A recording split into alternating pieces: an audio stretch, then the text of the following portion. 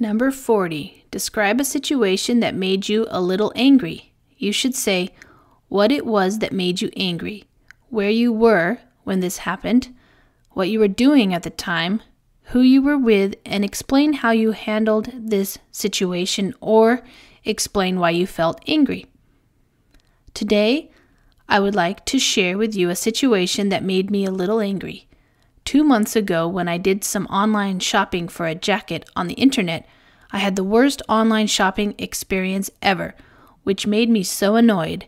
I was surfing the internet to browse the options, looking for a warm, casual jacket to get me through the colder weather that will soon be upon us. I stumbled upon one that was exactly what I wanted, so I left a comment to catch the seller's attention. I decided to order and pay for it and asked for it to be delivered to my house as soon as possible. She promised me that it would arrive within two days. However, after two days, I had received nothing. I found myself being cheated, and it really made my blood boil. I tried my best to reach her to ask about the jacket which I had paid for, but there was never any answer at all when I tried to contact her. That's when it dawned on me that she had lied to me, and the whole thing was a scam. My anger grew, and I felt frustrated and confused at that time because I could not do anything about it. So I learned the hard way that it was so risky to buy products online. I should not have done it. In the future, if I come across something on the internet that I would really like, I will head for a store to check it out carefully before making a purchase decision. Vocabulary Surf Verb. Use the internet. Example I am surfing the internet for information about the new James Bond film. Browse. Verb. Look at a lot of things, hoping to find something that you like. Example I sometimes go to my local bookstore to browse through the fiction section. Casual. Adjective. Comfortable and informal clothes. Example In my spare time when I don't have to go to work, I prefer to wear casual clothes. Get me through. Expression. Help me to cope with a situation successfully. Example. When I can't sleep, I sometimes watch TV to help get me through the night.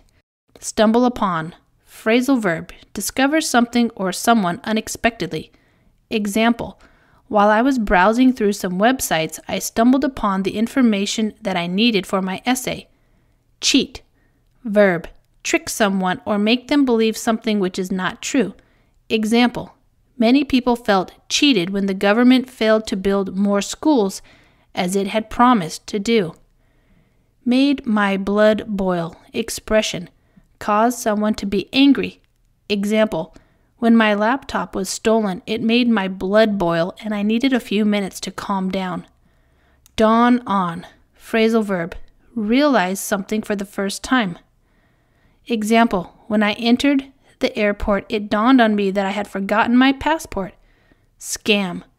Noun. A clever and dishonest plan for making money. Example. The offer of a free holiday was false. It was simply a scam to encourage people to buy tickets from the airline. Learned the hard way. Expression. Learned from a bad experience rather than being taught. Example. After I had an accident on my bike, I learned the hard way that I should always wear a protective helmet. Risky, adjective, involving the possibility of something bad happening. Example Working on a construction site is a risky job. You always have to be careful. Head for, phrasal verb, go towards, go to find something. Example While my wife went looking for a new coat to buy, I headed for the nearest coffee shop.